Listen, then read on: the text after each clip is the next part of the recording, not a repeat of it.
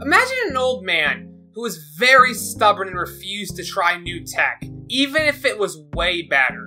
But he was also super generous and gave without expecting anything in return. So yeah, ISFJs are basically Saint Nick. I'm Treble Knight and I'm on a quest to make fun of each of the 16 personality types. And everything else. If you like to journey on that journey, click the subscribe button and ring the jingle bell. This type was suggested by Brawlio ZT, and if you want to help me pick what type to cover next, comment down below, and thanks. So without further ado, number one, they're content. ISFJs have a place in mind they want to get to. They make plans to get there, and then once they get there, they stay there. Why move? They just worked super hard to get where they are, and it seems to be a good fit for them. What, did you expect them just to do all that hard work and leave?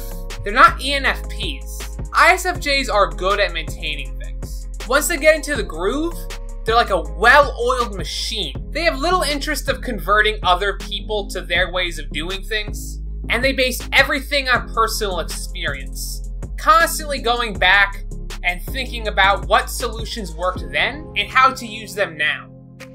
Number two, they're stubborn. Remember how I said they get into a groove?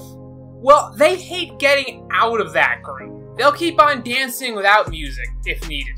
You know the saying, if it ain't broke, don't fix it. Well, they take that to a whole new level. If it's broke, don't fix it, because then you'll fix it wrong and it'll be worse than before.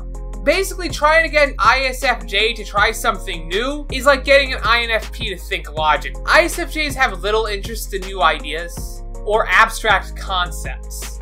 Everything is based on personal experience. And they really don't care much about your experiences. And any kind of data or numbers you show, they're just gonna be bored because math is lame. I mean, come on, we all know 8 is just a zero with a belt. Number 3, they're givers. ISFJs love to help others. It's kind of like their calling card. They fit really well in service jobs, and an ISFJ would give their shirt off their back if they felt you needed it. And the best part is, this help comes with absolutely no strings attached. They're not gonna knock on your door in the middle of the night and ask you to help them dig a hole in some random forest because you borrowed their bubble mower. All an ISFJ wants is a little bit of appreciation. A thank you. You don't need to build a 20 foot golden statue. An 8 foot one will do just fine. If you reject an ISFJ's help, they'll oftentimes get very offended. They want to feel needed. Like they have a place, a team to be on. They don't mind playing pitcher or shortstop or long stop, just that they're helping and feeling appreciated. This can lead to codependency problems, and it can lead to them helping when they're really not wanted. Well, ISFJs are pretty good at reading people. They can sometimes prioritize their own need to help over people's actual need for that help.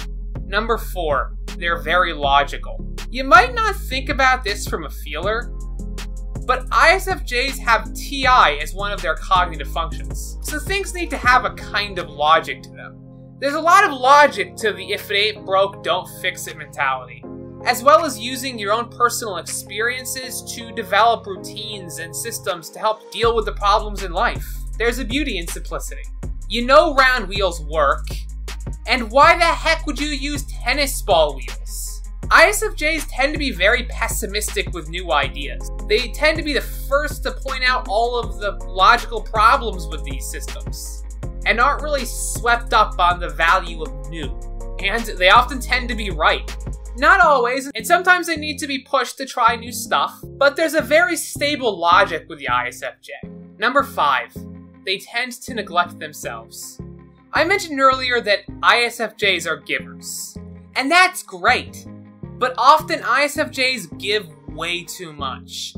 Even Santa, the great giver he is, doesn't give away his obedient elf slaves. That would be ridiculous. Giving needs to have boundaries. They also like to hold in their feelings and don't want to burden other people with them. Even though they have absolutely no problem carrying other people's burdens, in fact, they get offended if you don't. So why don't they think others will get offended that they're holding things in? I don't know. ISFJs can be easily taken advantage of by manipulative people, and that's not cool. It could start off small, like painting a fence, then evolve all the way into driving from bank to bank for some reason. But that's about it for today. I hope you enjoyed the look at the ISFJ. If you like this one, you might like my video on the ISFP. I've been Treble Knight, and I'll catch you guys all next time.